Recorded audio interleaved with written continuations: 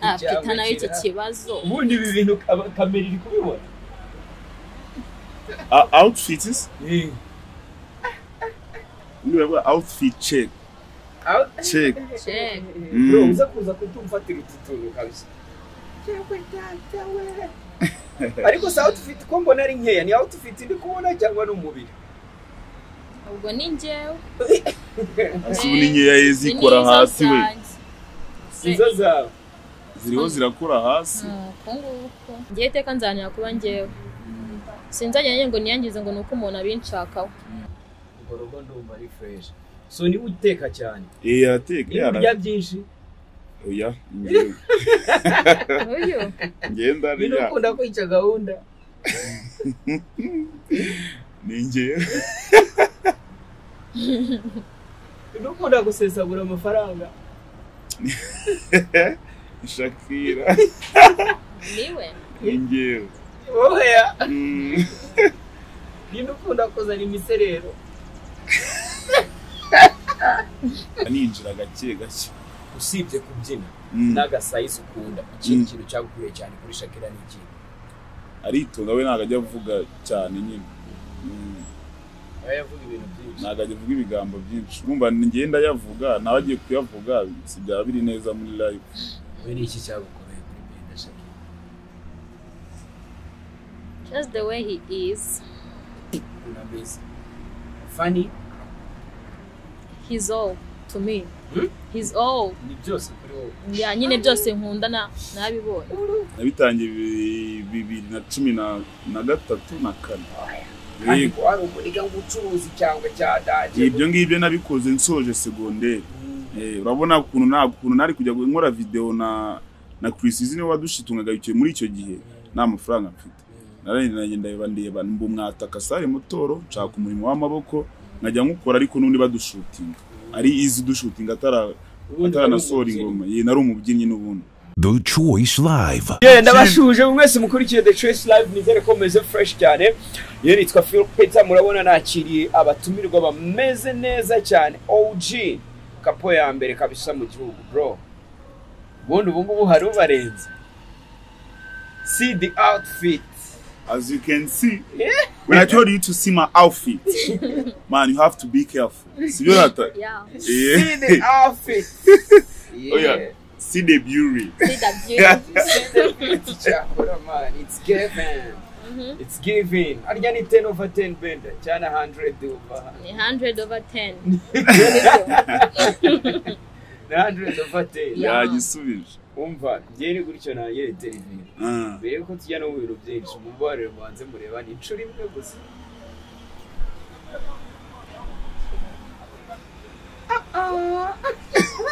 Turebanye gute? Se cyangwa ufite ka kaboro gapima ibintu turi gutekereza ariko si ubwo ako nako ni akana ko mu jisho cyangwa ni- ni agasaza ko mu jisho cyangwa ni agasore ko mu jisho cyangwa ubundi ukuntu twe turebana turebana gutya. Mm. ni musanzwe love is in the air. Yeah Eh, urukundo kabisa ruri ahangaha mu mwuka. ubu Se kumwitegereza cyane.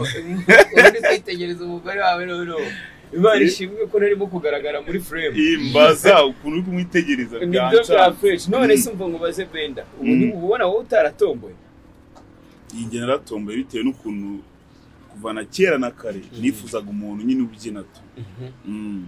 eh wifuzaga umuntu ubyina Eh, urumva norosoye wabyukaga nico gusa nyine naramushakaga bitewe n'ukuntu ngiye kariyeri yanjye imeze. Naramushaka.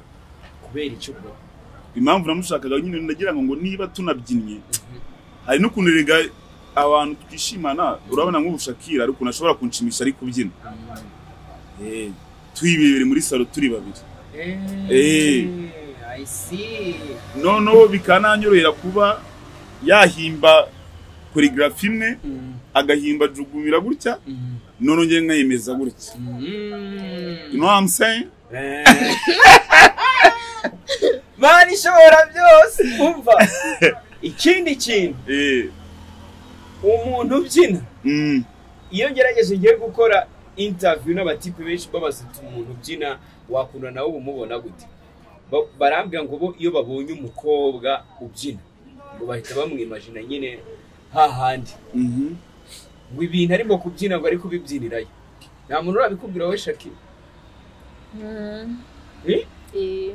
iyo abonye ziriya mwana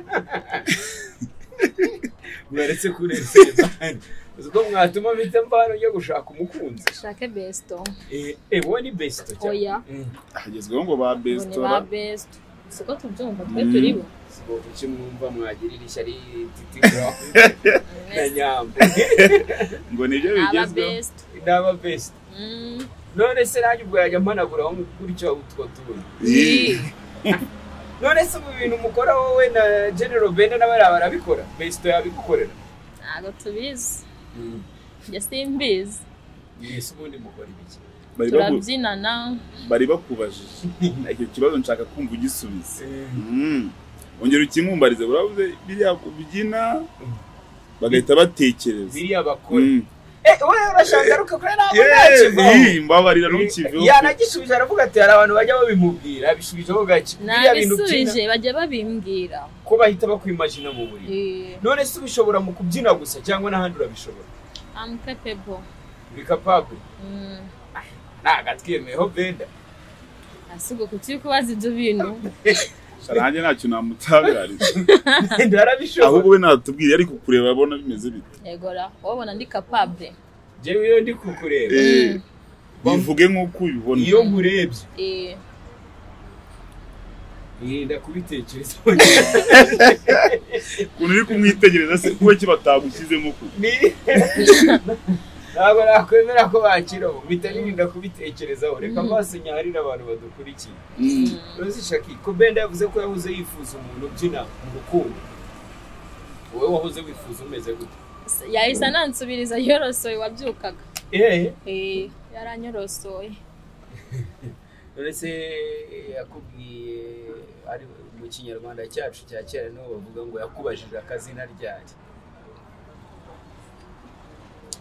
2020 bibiri na makumyabiri urukundo rwanyu ni ukuvuga ngo wahise umwemerera?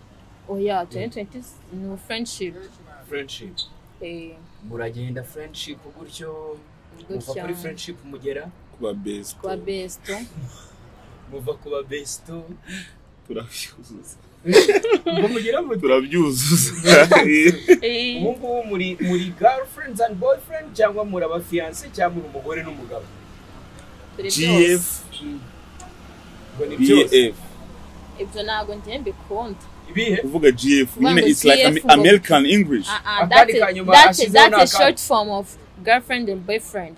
Ntabwo njye mbikunda ntabwo nkunda ngo gf na bf oya turi girlfriend na, boyfriend. Okay. Kandi shakira yaravuze benda nawe ubanza utari tayari. Oya, kuvuga GF. ndisubiye. Mm. boyfriend na girlfriend. Urisubiye usanze nsanze mm, usanze wari warateye intambwe yakura abandi batarageramo nakubaza ibintu ngo ntabwo yisu- nisubirira. Njye ndisubiye wenda ntabwo ari sawa gutuma umwana arota icyiciro.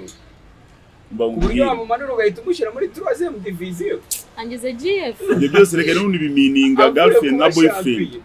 kuko kuva kuri girlfriend na boyfriend wenda ndapropose tuguha amahirwe isubira wowe waza umwana mpari. Reba ukuntu asa neza no bad. Ndakwinginga no bad energy abantu iyo bari kunda cyane rero. Mukunda mutumva ngo ngo shakira ngo agira amahane ngo ureko nahise amera oya no bad. turi byose nose ye girlfriend na boyfriend. Inyuma hab- yabyo hari ikindi kintu kiba ki- kibyihishemo nese si uva kuri girlfriend na boyfriend mukaba fiance mukaba yego nyine eh. fiyanse ukajya ku mugore. Nindindira kandi shakira aho yagezeyo kera benda muri twa Oya, njye mpamvu- njye impamvu njye navuze ko ari byose. Pita kanifata oya pita wamubonye uretse si the relationship si si de couple see the situation here the question. Yes see the confusion. Anyways data bizakura sibyo gake gake uruhare rwo kwihuta kwabyo. ninde ubigiramo uruhare umugore cyangwa umugabo ubigiramo uruhare cyane. Watuma icyemezo kigira kure. Ninde ubigiramo uruhare cyane shakira. Sobo period. Ni periyode ni ibihe? Ntabwo ari hagati ntabwo ari mwebwe ni ibihe? So benda amanutse agakubita nk'ivi hasi akavuga ati uriya umara ntiwavuga yesi boyfriend. ntiwavuga yesi ntabwo iki gihe urakigeramo nisubiye ntacyo ndagera. Ntacyo ndageramo ubwo urumva sinjye nyine. Ntabwo ari wowe. Ntabwo ari uzahitwamo. Uze shaki aka kanya wisubiye ute ho? Hey, Hmm? you never know that's God's plan. Ntawamenya Mm. God's plan. Ariko no mu mi- no mu mi- plani zawe ugomba kunshyiramo. Kandi urimo? Eh. nyine izanjye urimo? Ahasigaye n'aho imana. Reka nanjye rero nzabiharanire. Kanigarukira ah pita nawe iki kibazo. Ubundi ibi bintu kamera iri kubibona. Ah, outfits undi bavuga outfit check. Check. Check. Mm. bro uza kuza kutumfatira utu tuntu kabisa. ariko si outfit ko mbona ari nkeya? Ni outfit ndi kubona cyangwa ni umubiri ubwo ni njyewe. Ese ubu ni nkeya ye zikora hasi we? izo zawe. Ziriho zirakora hasi? Uku nguku nikwije se benda mungu w'umugore wawe aba yabanje kukubaza iyo agiye kwambara gutya. Kandi ariwe umitiramo. Mm. noneho mbere y'uko uva mu rugo urabanza ukamwereka uti sheri aka gakanzu. Oya n'undi biba byanapanzwe mbere yuko tumenya gahunda yewe Mm. urara muyifashe imyenda Mm. muyiteye pasi uramuterera si cyane kadogo. Aranterera aragutera. Mm. mukaryama mukabyuka mu gitondo mukongera mukareba. Turabana se? Kubivuga nk'aho tubana. namutegereje Mutara. arakomeza Eh. aravuga. Dore ndaguterera mutararanye. Hoya aza kunsura cyangwa njye nkamusura. Kandi mu- mubipanga mu ijoro mbere y'uko- nawe ibyo bintu nta kintu uri kumvamo kiri bizarre ariko ibintu byo kurarana nubwo binarenze kubera yuko none se ntiwatubwiye ko mwagiye ariya ni rusizi? Eh, rusizi buri wese afashe rumwe n'undi afatiye. Wa- watubwiye ko mwaraye muri interivire ari tehari ariko si n'ibyo gusa hari n'ikindi gihe mwigeze kwiyambura mu maso ya kameramani twiyambere imyenda muyisiga muri saro abantu. Ako ni mwatubonye kuvuga nese aba content creator Eh, nese ni bande bafataga video ni twebwe. Kuretinga content nawe zituma mama wawe atekereza biriya bintu ntabwo ariko uramufite. Ndamufite. Natekereza iki? Ko ari mwe mu bitekereza? Ni ukuvuga ngo abana bari mu ntebe imyenda yose irabuze. Iri aho baragiye. Akenshi niko bigenda ariko bari bari kureba mu eh, abantu bose bari kureba filime akubwira mbere wawe. Shama maransapotinga abazi ko ni byo ndi gukora iyo na iyo ngiye nanzuye kubishyira ku mugaragaro mba ndi gukora ikintu gikwiye. Ufite papa wawe? Yeah. wabivuga iki? Bose. Benda Karame, wowe se njyewe ngira mama gusa. Mm. akakubwira ngo iki umva twebwe turi abadive bimitsemo indani. Eh, hari ibyo abona akabona ni wapi? Ariko hari n'ibyo abona akabona. Ariko rega ubundi byose umubyeyi yatangiye abona naribi kuko twabanaga mu rugo. Mawucomotse atatangira kubona ko ndi neza muri life. Mm. uvuga ati ntagenda akora ibyo ashaka apfa kuba yitunze yego. Buriya nubwo natungaga umusatsi ntibahomba Mm. yaravuze ujye ugenda ubikorera ahandi utahe wabikuye. Cyane ko witunze Mm. n'ubundi barabivuze ngo umukobwa ngo ubashe kugira ikintu yoherereza iwabo. Ngo nta ngo nta cyemezo baba bakimufataho. Ushatse kuvuga ko njye bakimfataho. Mm. ngo nta kamomo rero ujya usoresha oya ndagatanga. Niyo simba nakoze. Nanjye nanjye ngatanga ndi kubashima nyine uko banyizeye bagatuma njya mu byo nkunze. Abo se bo ntibakora ubundi kuki bataguma ngo bakohereze? Kuko nta rutugu rukura mu rusumbi Oya, zose. na- oya bafite nyine bakomeza kukundera nka- nk'umubyeyi. Ariko ntabwo ari ngombwa ngo ibintu byose nkomeze nanjye mbibakureho nanjye mfite amaboko abikora. Eh,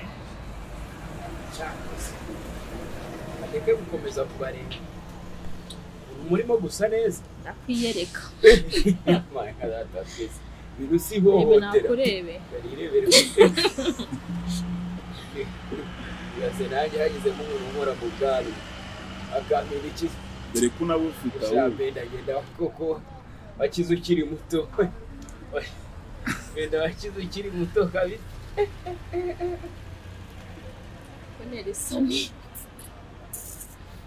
none se ni iki kintu mukunda gukora cyane? Uri kumva mbere yo kuryama. Hagati yo gusenga uri kumva hagati yo gusenga no kureba filime ikintu cyiza kenshi ku munsi. Ikintu cyiza kenshi ku munsi mbere yo kuryama ni iki? Njya muri fone ndi kwiga utuntu dushyashya. Kwiga utuntu dushya. Naho wowe? Ngewe ngerega buri akenshi wenda n'ibyo byabaye njye ndyama mbere. Uryama mbere ye? Mm. akaza gusanga mu buriri. Oya ngewe ntabwo iyo ngiye kuryama telefone nyishyira hasi. Ako pika. Ngashyiramo karahanyuze nawe arazikunda se? Ntabwo azikunda arazanga Ata- iyo Njyewe akubwiye nkunda- ngo uzimye se. Nkunda karanyuze zo hanze. Urazimya cyangwa uramwihorera nuko akunda kwita umuziki? Mm. oya uvuga kugeza mu gitondo shuwa ese ntabwo babuze gusinzira? N'umunaniro umuntu aba afite se urumva yabura ibitotsi ariko mfite uri kumwumva umunaniro se wigisha ku mpamvu umunaniro awugira iyo ageze mu buriri cyangwa awugira mbere tuba twiriwe ku zuba. Tubyina. ndakureba nkakwibwira reka mwihore icyo ushaka. Izi nkwano zizatara.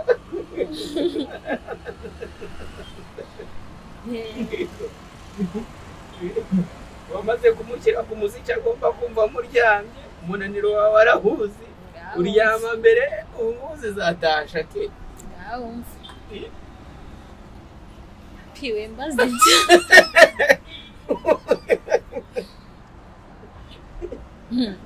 Izi nkwano zizataha ko cyangwa si na ngombwa kuko hari abantu bavuga bati dore n'abagabo basigaye ari bakeya barabuze urumva shake. Ubundi inkwano n'iziki murangura agenda itunga wowe urabyumva? Nese inkwano sa- saba ari ishimwe y'ukuntu ababyeyi bakureze? Nyine ugiye gushima ababyeyi bakurereye. N'umugabo iyo umuraje mbere y'uko azitanga wumva zizaza. Ese igihe tugezemo ukibona gute. Mm. nk'icyuko pe?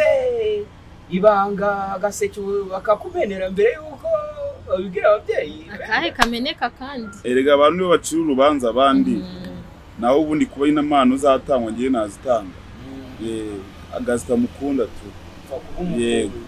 ubwo rero icyashaka kuba hagati yose kugira ngo nanjye muheshe agaciro nabikora kubera ko aho ni sawa cyane.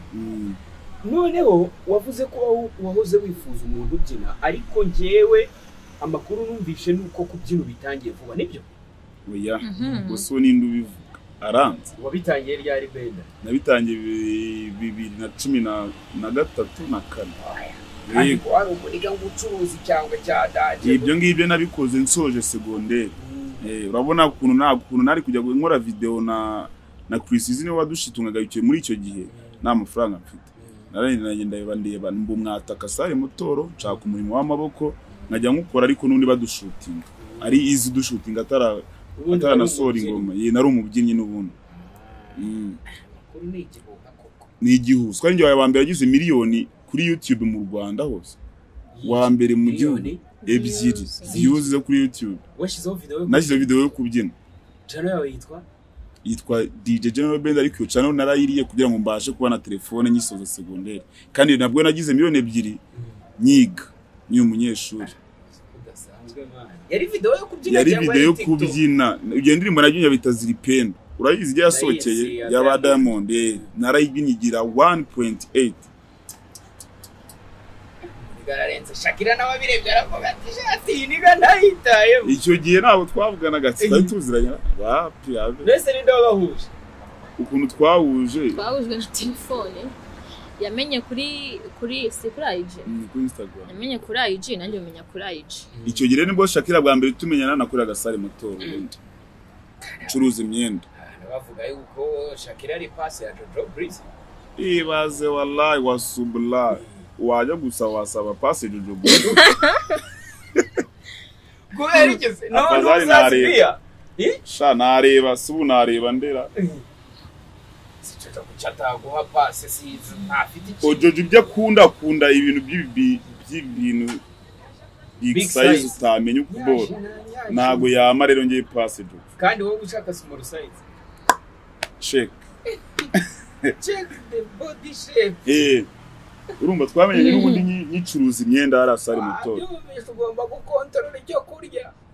Wibeshya ubyibuha ubwo ngubwo aba bahiye. Ntabwo yabyibana ntabwo yabikora. Abikunda Mm.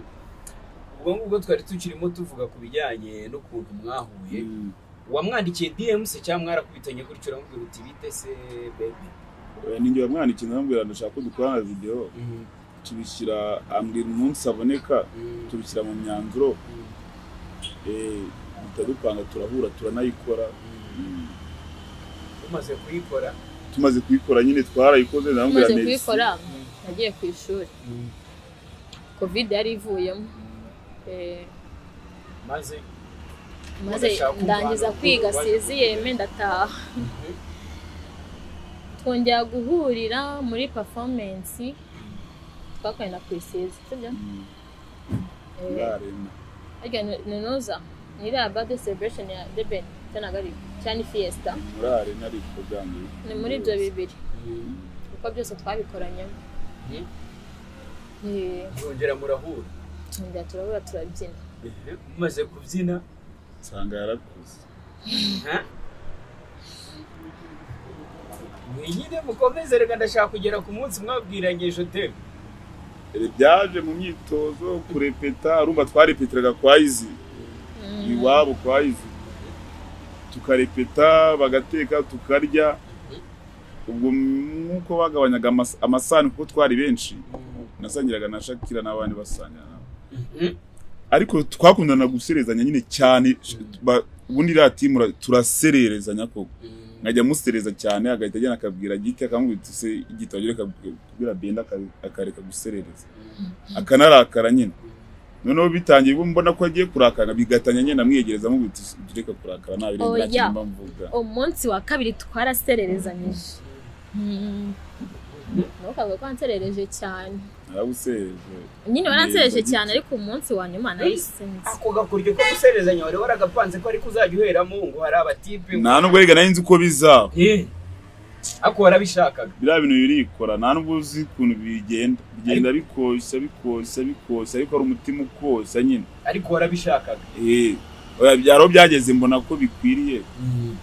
Nanjye noneho mpita nshaka kugenda ninjira gake gake. Usibye kubyina. Mm. n'agasayisi ukunda ikindi Mm. kintu cyagukuriye cyane kuri shakira ni iki? Aritonda we ntabwo ajya avuga cyane nyine. Mm. ntabwo ajya avuga ibigambo byinshi. Urumva ngenda yavuga nawe agiye kuyavuga si byaba biri neza muri live. We ni iki cyagukoreye kuri benda shakira? Just the way he is. Funny? He's all. To me. Hmm? he's all ni byose kuri wowe. Ya nyine byose nkunda na nabibonye. Abyumvise. Mentioningamo bikeya abazi ikintu cya mbere he's so kind. He's a good friend to be with. And um, nyine ari passionate mu byo akora. And uh, akunda akunda akazi nyine ni umukoranabushake arakora cyane. Ikindi se ni umuntu w'abantu. Ya ari sosiyete ni umuntu w'abantu kabisa. Ni umuntu w'abantu.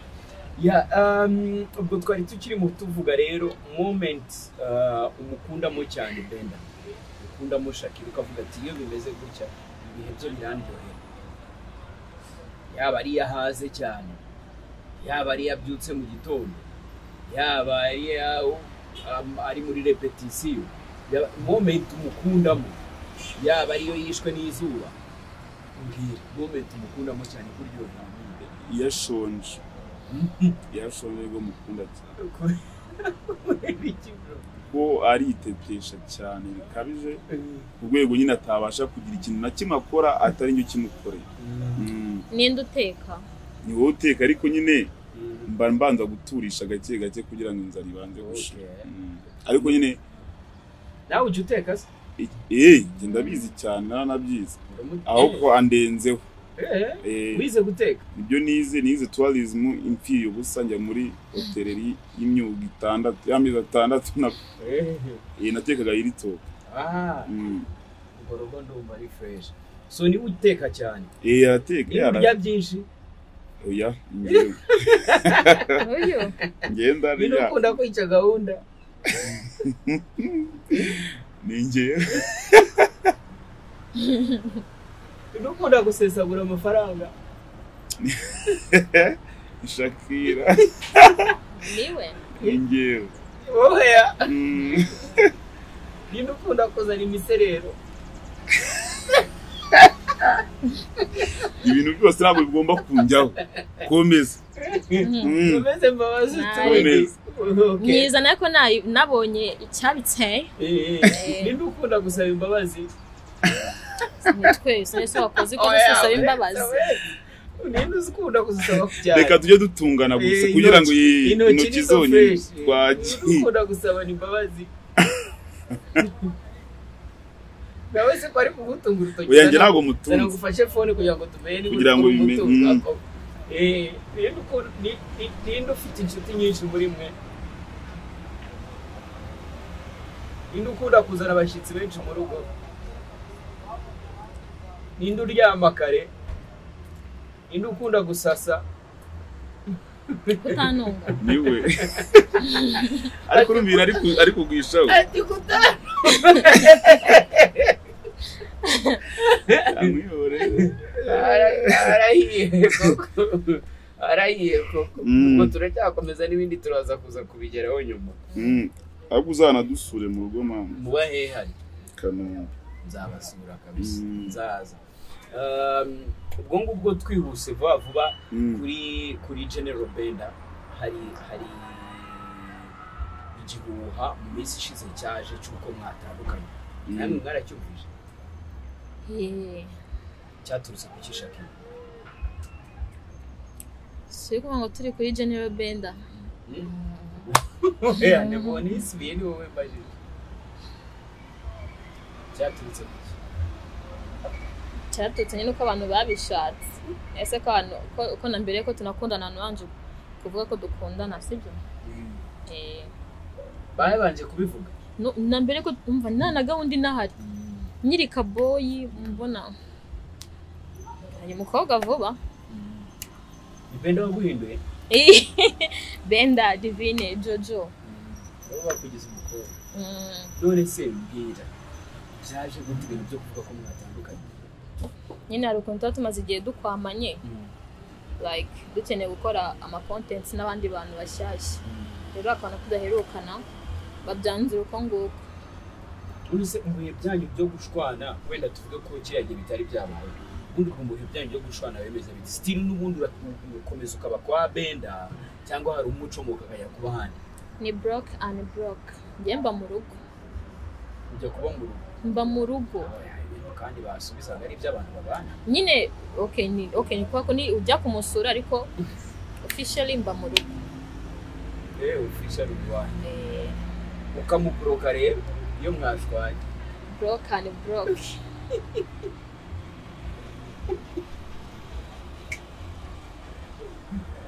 Barikaze. twigire kuri benda hari kariya nshyashya uherutse kwinjiramo yo mu bwici byaje bite byo? Njye ukuntu byaje? Kera nyine umwe nyine umunyeshuri twajyaga muri vakanse nari umudisike bana sinzi n'ubu bazi bo ku Yewe. mihanda ye noneho nkajya no kuba nadija kuri ku bukwe nyine bw'abantu wenda batishoboye cyangwa n'ibirori runaka bantumiyemo. Akaba ari njye bosi yohereza kujya kudija aho hantu. Nkabikunda nene sasa icyo gihe twakoresha vaco dj suizi eh, niyo twakoreshaga. Nkaba ariyo nkoresha ncurangira abantu. Icyo gihe yaragezeho za ndirimbo nyine za kera. Nkabikora nkabikora ariko nkumva nyine kugira ngo bibe professional ariko binsaba nyine kuba mfite n'izina. Ntabwo kuba nari nzwi muri ako gakaritsiye k'i Kanombe mu Busanza byari kunjyana Nyarutarama ngo mba ariho ndira hiti ariho bimenyekana. Rero ndabireka twaje no byaje kuba n'imisero myinshi kubera ko nageze aho ndaryoherwa n'amafaranga ishuri ndashaka kuryihorera eh ariho naje kubireka umumera ambwiye ngo mbivemo fata ikaye ndiga nyine. Rero aho naje nyine kubona ko ari njye ari njye zari izo nzozi nyine nshaka ko zabimamo imana ibimfashijemo ndetse nawe kubera ko uri umu DJ eh ibyo nshaka. Yewe pampi. ndashaka kubaza. Ngeze he kwanza ndacyari kwiga ariko nyine eh, aha hari ibyo mba mbona kubera ko urumva nigira kuri controller y'abandi. Na- ah, ngenda nishyura amafaranga Uganda ngo banzane controller bakayandya bigenda bizamo imiserero urabizi baratira gutira ngewe sinshaka gutira nashaka kubyinjiramo mfite ibyuma byanjye ku buryo niyo wamamagara anytime bita nkugwiramo nkikorera. Eh, kuko urabizi ko ikintu yari icyawe ubuzi kuri bugikoresha. None se wari wapurenga nk'ahantu kuri gigi iyo ari yo yose cyangwa cyabikorera mu rugo tu mu cyumba? Aho nigeze kuhakorera. Eh, nigeze kuhakorera. Hehe. Kabeza ahantu abantu sinzi niba bazi. Yari aboro kabeza tujya tujya ku mugoroba tukicurangira. Eh, ndagenda nkakubita urwego ugezeho Mm. uba wumva umuntu agutumiye muri pati wazo ugakubita kabisa abantu bakishima cyangwa nawe urumva utarisanzura neza ngo uvuge uti mfite confidence zo kudrivinga night. Eh, wapi sindabimurika ariko nimbimurika nzaba ndi tayari. Nzaba ndi neza. iki? Nagiye. Ukwezi kurashira kabisa nyine ndatangirana na samu ubundi. Ndimo ndashaka gutangirana na samu ubundi aratangira n'ibikoresho. N'ibikoresho nimbibona kugera- nimara kungeraho. Ibikoresho nabi bihari ya. Ndahita ninjira mu birayi byanyu. Oya ari fresh Mu ugomba mugati kuza tugafatanya Mm, ugomba kuza tugafatanya ni tayari. ngo ibikoresho ni cyo kibazo gikomeye kiramutse gikemutse wamera neza cyangwa hari ibindi bintu umuntu yagufasha. Njye mbonye ibikoresho. Nahita nangira nahita nangira kuko urumva no gukodesha kontorora yo kwigiraho nyikodesha pade. Urabizi. Kenze ntukayibura kandi bashaka kwihugura buri ko mbyutse nkakubita buri ko ngiye ku- numve bishe binjemo niriwe mu rugo nkakubita biragoye. Bakurikira the choice live mwarese tukagurira ibyuma dj bend se ushyiraho genero ngewe biranga barananyambuye ariko nuko umuntu kumuvuga hano bitari bari freshi hari umuntu uhaye amafaranga Eh. arakwambura sha yaranyambuye yanyambuye imwe na magana inani. Yewe! Yajya muri uganda. Urumva nabanje kumwereza imwe arambwira ngo nahiyageza. Man still now bro. Kandi abobona ndishyura minerivare mba ngomba gusa neza kuri outfits. Kontorora ugiye kugura yarangaye. Yari icyabiri. Miliyoni n'ibihumbi Eh, hafi magana. Fr6 sinzi isi Eh, niyo nashakaga amadolari igihumbi na magana. Na magana abiri. Yarabanje ambwira ngo nyimoreje igihumbi desa nzimu yarageze ashitse inama ariko ariko ndeka tunabireke kuko ntabwo ari neza. banyongerereho. Eh banyongerereho. Ndabura nka magana inani. Nahita mbituritse. Nta mashini irimo. Ibyo bintu ako Eh. kantu murumva katoroshye mwaretse ibyo bintu. Nta mashini irimo. Kabisa inani. ngewe ndabura magana inani. Duhe nimero yawe. Zeru karindwi umunani. Zeru gatanu gatanu. Umunani gatandatu. Gatatu gatanu. Mugisha didiye Yeah. nyabuneka niba mushyigikira general benda shakira kapo uri kumva na the choice live nimudufashe umusore tumugurire ibyuma. Nimero ye niyo. Mwoherezeho uko ubushobozi bwawe bungana ntiwice intege ntiwisuzugure. Ayo ufite wohereze nubona n'andi ejo uzohereze umusore tumugurire ibyuma. Nzishima kubona duhuye na benda ambwira ati ya gahunda yarangiye ubu noneho tugiye kubakorera umuziki. Mwoka byaramwe niba mukunda the choice live niba mukunda iyi kapu nimubidukorere Mm. bamushyigikiye ko ajya mu budije igihe ikintu cyose kirimo iterambere ntabwo njya nyihakana. Aturere kubaza ntambaza None se ko bavuga ko rega. eh nawe hari ibiceri Nawe yagutaye. abakobwa murumva ukuntu bimeze. Urumva yakoze muri coga ariya ni coga sinzi ibiboro byejeje ubundi babaye amafaranga atabaho. Move africa. Eh move africa ariko guys ndashishikariza ababyinnyi kubyina bakabijyamo peter sibyo? Kuko barisigaye bakenera ababyinnyi benshi cyane. Kandi bakabaha ibiceri. Byinshi kabisa biri turayoboye. Buriya ni sheri silver yari wabajyanyemo muri muvafu Sherry Silver oya Sherry Silver yanjyanye muri Chogam. Anjyana no mu bindi twagiyemo ntazi niba ari AGRF yari summit ya y'ibintu by'ubworozi bya agriculture. Eh. Ikindi nanone narajya kure Ya, afite ibikombe bitatu. Si bitatu ni bibiri. Bya best dancer nyine w'umukobwa. None ngiye ndibaza. Bamfata mu bu- mu buhe buryo bwa comedy? Sindaza mu, mu matora nta kategori nyine. Ari comedy sinzamo pita kandi buri munsi ndirirwa nikaraga. Yewe bambona mu bitenge bakagira ngo niyo move. Bazagukina muri in rwanda. Nanjye simbizi. Bantu mufata ibi mukora ama award generale akora iki. Ese wowe ukora icyo utuvuga ubundi njye niyo mpamvu uba usanga nawe se mbyine nigire mu budije ugasanga lisite yaje yose.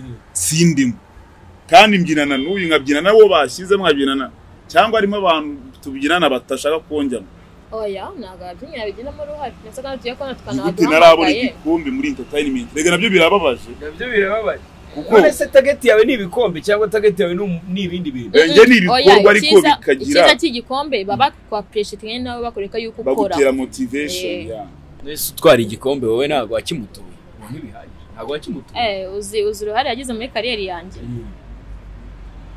Bakaguha Ndagusiga. ibikombe bakamuseka kandi ari we yarabigizemo uruhare.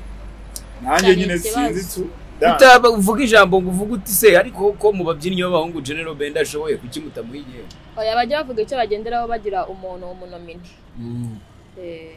Bajya babivuga kabisa murababaye koko.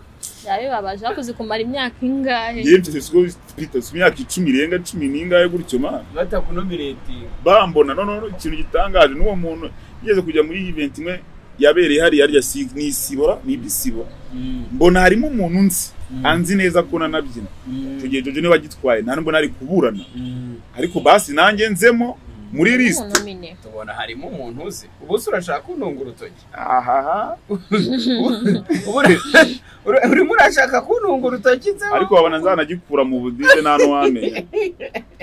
Wowe komeza urwane. Igihe cyawe kizagera. Kandi njyewe inama nakugira Mm, ntago ibihembo ari byo bintu bigomba gutuma ukomeza umutsi ukomeza gahunda zawe. Yego.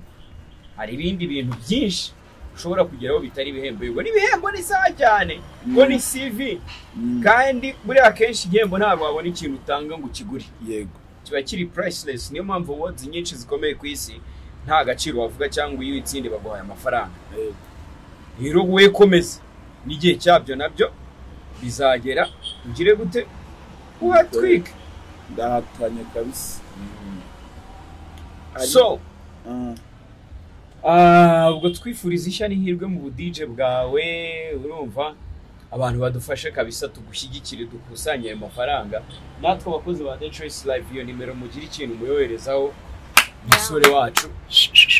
Tumugeze ku rundi rwego. Ngero uyidusubiriremo zeru karindwi umunani zeru gatanu gatanu umunani gatandatu gatatu gatanu. Yes wasanga mu budije ariho ruzingiye ariko no kubyina njyewe ubyina neza na komedi urayishoboye. Mm, content ukora content nziza ahubwo kwifuriza icyanirwe njyewe mbona uri byinshi. Mm. njye mbona uri uri ikintu kirenze umubyinnyi kirenze umukomediye kirenze umudije ahubwo tugishakire izina niba ribaho. Ariko dana n'uwamenya wasanga ariyo mpamvu ataraza General. Nta n'uwamenya wasanga mpamvu ataraza mu bantu mu kuko bantu njye ndumva bagiye uruntu bagiye kugushyira mu babyinnyi Eh. hari ukuntu baba bakumanuye. Eh, ngo pe. Mm. hari ukuntu ipeti ryawe njye numva baba barimanuye. Nanone bakugeza umu tiktoka hari icyo baba baburijemo sibyo? Ahubwo ha- eh, kategori yo kwine ahubwo njye reka nkubwire boro ngiye kugutaha akenera ibyo bintu byose. Mm, shyira imbaraga zawe. Muri byose byose ntugire na kimwe ureka ariko noneho ube umu event host. Buriya ugiye ugahostinga wenda nka wadi mu rwanda sibyo? Ni urugero cyangwa n'ahandi hanze. Uri imbere ukaba uzi kuvuga mu byo urimo kubwira abantu uri guhositinga ugasetsamo gake byaba na ngombwa ugakubitamo akamuvu urumva? Waba wanahositinze no mu kabari iyo music mix ukayikora iri neza. Eh, wakora ikintu kinini cyane kuruta kuza muri iyo kategori imwe. Murakoze. Ya. Kubera ko ngenda umva ugiye muri imwe hari ukuntu uba ubaye mutoya. Ariko hari abantu baba bakora ibintu nk'ibyo byo guhositinga ama event ukabona nta wundi muntu wamugereranya nawe banize amatwi. Ba- baguhanga amaso. Baduhanga nyine badushyigikira baguhe yabo kabisa. ya benda ni umwe mu bantu bafite potential nyinshi kandi uzagera ku rwego rudasanzwe. Ah, turimo turagenda tugana ku musozo na time yatujyanye. Mm. Ah, tuguma twiganirira hari ibibazo mu minsi ishize nabajije benda muri internet Eh, sibyo? Tuboneze ndagira ngo ngewe mbigusubiremo sinzi niba warabibonye shakira uri kumva? Ugire gute? Uyumvire niba yarakotoye cyangwa niba hari indi nama wamugira Mm, sibyo mm. mbere yuko ariko tubigeraho ndashaka kukubaza. Uzi umubare wa tatuwaje General Benda afite?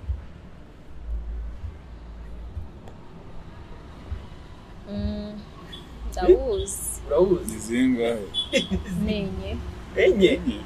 Afite tatuwaje genda uzivuga bitewe n'ahantu uzira bari kuzibara. Iri ku ijosi. Hari iri ku ijosi. Hari iri hano. Mu gatuza. Hari akari aha ngaha. Yego. Hari n'akandi kari hano. Ubwo ni izo gusa. Eh, Eh, nyine ni izo gusa. Oya izi ntabwo ari zo niyo gusa. Sha. ni izo gusa.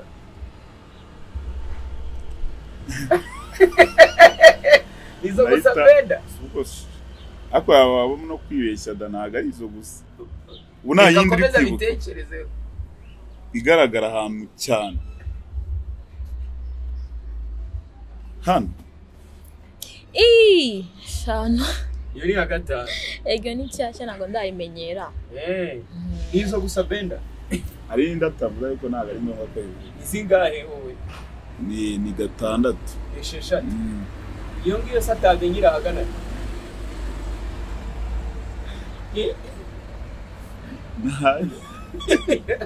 Jackie uri kwibukara uzi suze eshanu ni eshanu ni eshanu ni ntabwo ushaka eshanu shakira se bafite zingahe benda ni ebyiri izihe n'izihe ni ahangaha ni hano yose ijya igaragara nawe tubona yagaragara ikigaragara reka kamera turebe Oya. imyambiko bose bazayibona ku myenda yambaye bigaragara. Igaragara iyo wambaye ubusa. Oya iyo nambaye ese hano? nambaye ndaba nishe sitire inyubako ufite gahunda yo kuzambara ubusa tukayibona. Ni uko ariko abantu bavuga ngo ni umuntu yambaye ubusa nese wabigenza ute natwe ibyo byatugiye nta busa nambara. Nyine umuntu wambaye ubusa kuri wowe aba yambaye aba nta kintu na kimwe aba yambaye. Habe na kimwe. Ni bwo washyizemo na bikini uba wambaye uba wambaye ese uba wahishe. Eh. ariko ahantu ha nyaho nyine hayo. Nese ubwo nakambara bikini nkagenda mu muhanda? Tatuwaje ufite imaze igihe kinini ni iyihe nta n'imwe nta n'imwe zose ni nshyashya iya vuba ni iyihe ni iyi ngiyi. Yari. Si usa yaciye nk'amezi abiri. Abiri. Eh, mbere yo kwishyiraho se wamugishije inama? Narabyanze. Tujye tuvugana ibintu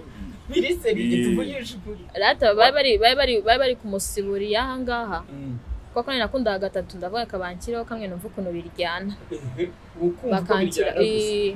aramubujije ahamagara uwayinshyizeho amusanga iwabo. Bajya kwishyira iwabo w'uwo muntu. Eh, duhita tunashwana aranambura hari hari impamvu? Babe. Ni wese ko umuteye ubwoba kandi iyo dore urahabura uragira ngo tubaze muri komenti uzaruyobora uwo ari we hagati yanyu. Oya si ni ngombwa. Ariko barebye gutya muri kamera nabo bahita babona uzaruyobora mari. Nawe.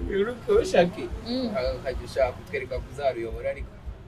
Wumva ari fureshi nzerekanye gute? Wenda mukoreye ikiganza nawe wikora ibyo bintu. Yego ntabwo nari si kugira gutya nageraga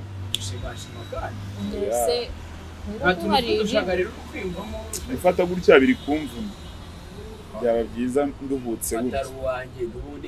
See the watch. None se shaka kujya ubanza kubwira ben? Adashaka tatuwaje ukayishyiraho siko mbona ugiye kongera kurakara. Oya ni uko navuze ukuntu ni expressinga nyine. Ubwo next question. Oya nyine narayishakaga. Ese ubwo yayimburizaga iki kandi na yo yayishyizeho Hmm. ikintu cyose nzajya nkora wabyangiraga iki oya hari ibintu? Uzajya uhita ugikora nawe kandi. apana. Iki? Nyine urumva ngewe impamvu nabyanze. Nyine numvaga abishyiraho yabitekereje apana nkanjye ko nabishyiraga ngewe biri imbere ariko we yabonye baneye nawe yumva yahita ayishyiraho. Ndambwira uri seriye ngo ndi seriye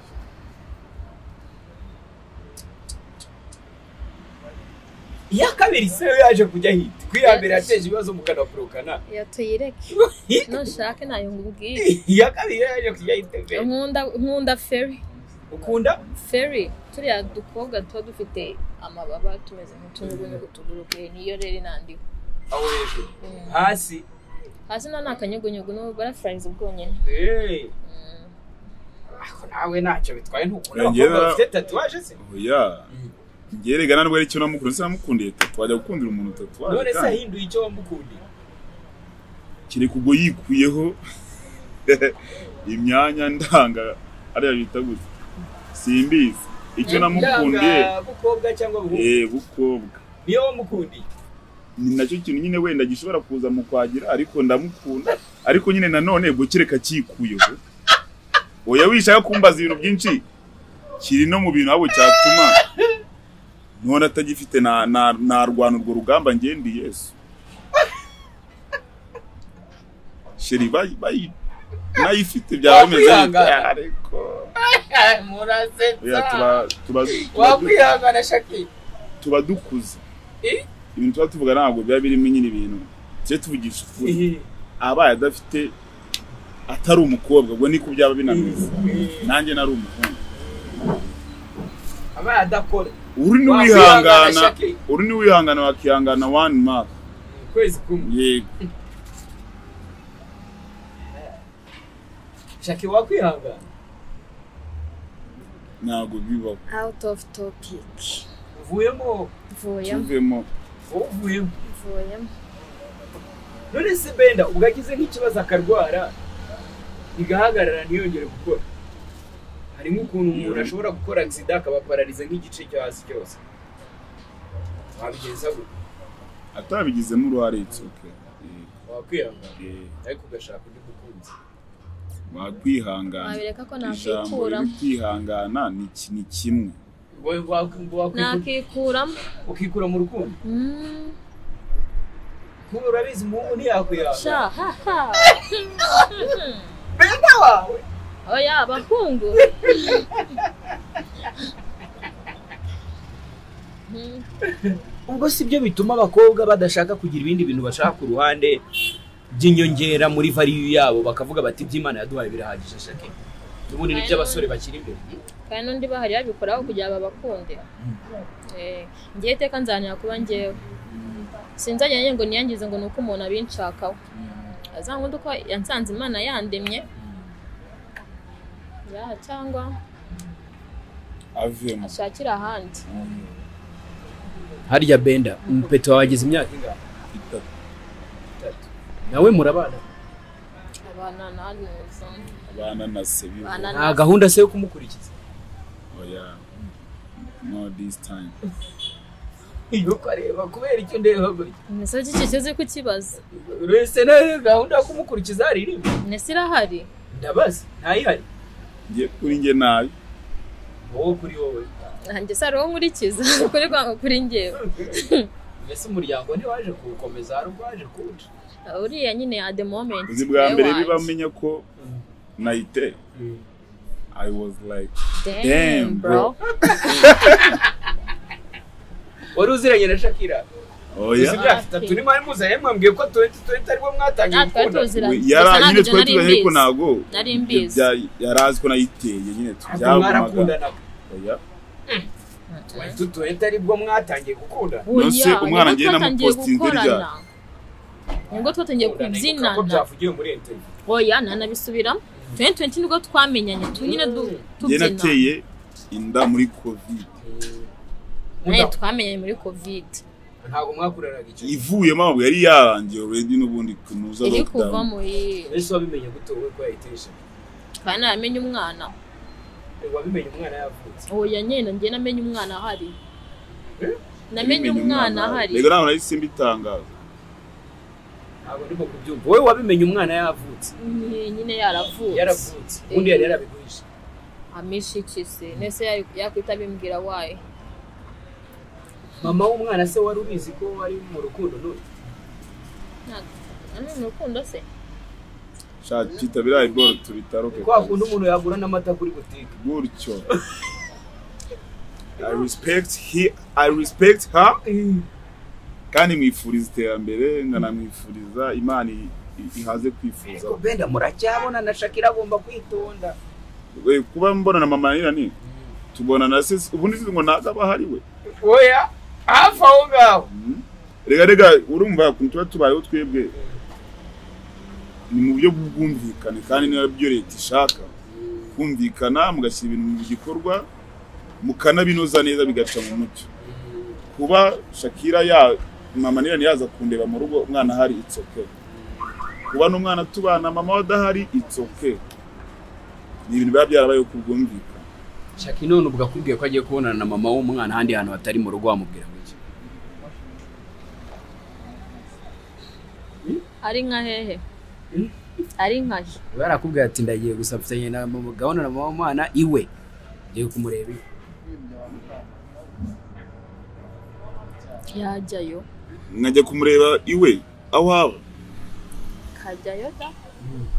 Urumva njyewe nakivanga muri relationship ya maniyani na papa nirani kandi hari nawe urimo ubwo se yongeye ko aho bavuga ngo aho yaciye ni ho yaca urwango Mm, nahita mvamo.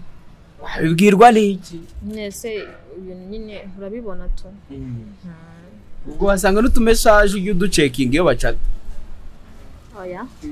Ntabwo ari ngombwa hose. Uba wumva umutima utuje. Ibyo mbona ni byo ese ko warakaye amaye uyu mwana. Mere gute kandi? Kandi rero wabivuze ati abantu bandebye gutya bavuga ko narakaye ngira amahane Eh, ahubwo wumva abantu birirwaga bambaza ngo mbereke mama nirani ari vlog nashyizeho nshyashya eh, abantu ba umpiningire pi umpiningire link mo hano hasi. Eh, hanyuma noneho ku muntu wese ufite amatsiko yo kureba mama nirani namushyizeho kabisa kuri youtube channel yanjye. Iyo video igezeho saa sita mu kanya Eh, abakunzi bangiye amatsiko arashize abantu bari babona mama mama nirani ngo ni Shakira ya Okay. That's good. Um, ubwo rero tugenda tugana ku musozo. Um, reka reka nkubwire bya bibazo nabajije Aba ntabwo nabyibagiwe. ubuzima ngiye kukubaza Mm. biri bizarre Oya biroroheje bana. twagiye? Hano hari amazina y'abantu bazwi muri showbiz. Nagiye mubwira nti muri bo ninde wasoma ninde wabana nawe washakana nawe? Ni Kiss and Melody. noneho ndajya nkubwira abo yahisemo. Nuko yabahinduye. None Ni Abanyarwanda? ni abanyarwanda Eh, bambwire. wumve niba yarahisemo neza cyangwa umugore utaha ariko niba washakaga Peter bambwire bambwire. Mm, gata njya kukireba. Ko nagoswe. Naramubwiye mutesi jori na ariyakuru Mm, uri kubabona eh, aransubiza ngo ya Jolly. ya eh? Aransubiza ngo yakisiga mutesi jori agashakana na ariyakuru mm. Neza. nabi. Ah. Eh, navuze ko nasoma ariya kuru nkashaka Jory ese na- eh, naguhakana birimo? Oya Mm. ufata umwe ukamushyiraho kimwe n'undi ukamushyiraho ikindi Eh. okay. Urumva yarabisubije neza. Yashaka mutesi jori agasoma ariyakuru Eh, yabisubije neza. Nawe ni byo wamuhitiramo ah ah apana kumuga mumuhitiremo nyine ubwo byo yahisemo nyine ibyo ngibyo. Bitewe nuko ngiye muzi? Yasubije neza yahisemo neza. Okay. shadibu na kate babyibuka ibyo washubije Mhm. Navuze ko nasoma shadibu ngashaka kate naho uri fresh cyane dore imbogo na joyeuse Mhm.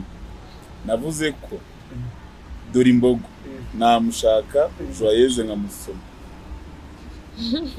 dore imboga z'ubwenge buriya nuko mumubona kuriya ninde utabufite niyo yanjye arabuzi ko ibiganiro byo njya mbireba imisubirize ye. Muri kumva abandi ibyo yagendeyeho. Iyo ugiye gushaka umuntu you have to be careful. Ukareba ko azi ubwenge yeah. ubwo utahisemo nawe urahareba. Mm. marina na aline sana oya reka tuze twumva uwo guhitiramo muri abo. Wowe urumva yakisinga andi agashaka nde shaki. Aline Sano ni Yeah. boss. We. We we yamenye ibyiza ari ibiza cyangwa kuba ari bose ari byo byatuma reka nshimire yakisinga mari akabana na sano ubundi niko yasubije muhitiremo kuri aka ka nyuma sibyo dusoze anita pendo na dj brian. Cyaranguye bamubwire direkite yasoma dj byana akana anita pendo Eh, nawe niko yashubije sibyo? impamvu ni iyihe twumve ko ibura niyo yatanze. Eh, Impamvu. wibuke ko mbyibuka ko kuri icyo kibazo ariho twamubajije impamvu. Mm. honyine tekereza neza babe. tekereza neza. Bamubwire oya uraba ugiye kuniranya n'abantu. Oya nta kubateranya ni showbiz tuba twiganirira nta birenze. Kubera amayinitaviyu ya brian njya ndeba barwana bajya baserera bajya baserera noneho n'ukuntu nyine na pendo mubona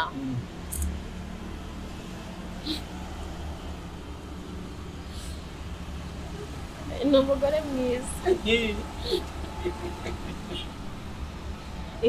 ni icyo ngicyo we uzi ukuntu yashubije se? Yaradushubije ngo pendo ni umubyeyi mugenzi we. Dusanga na brian nawe ni umubyeyi.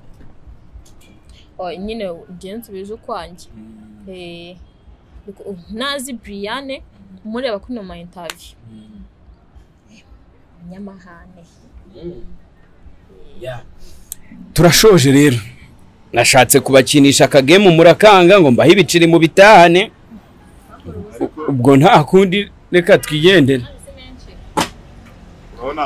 Buriya ubu waba ukuyemo nashakaga ko dutera. Yagabanye nabi. Si wowe wari uri kuyanywa? Si wowe wari uri ugiye kuyagabanyiriza hasi? Kandi wari uri kuyanywa? Nta kibazo gerageza nigerageza ikibazo urimo se cyangwa ntabwo urimo cyangwa tugende tube tugakinira hariya haruguru. Cyangwa reka tujye kugakinira hariya. Si byiza. Ibyo fureshi universe.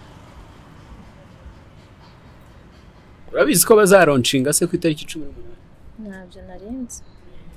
Reka tujye kugakinira hariya haruguru. By the way mu- mushake linki um, ya vlog iheruka ya general benda iri kuri youtube channel ye n'ubundi yitwa dj general benda ubundi mu musapotinge ngo abashaka kureba mama w'umwana we harya yitwa?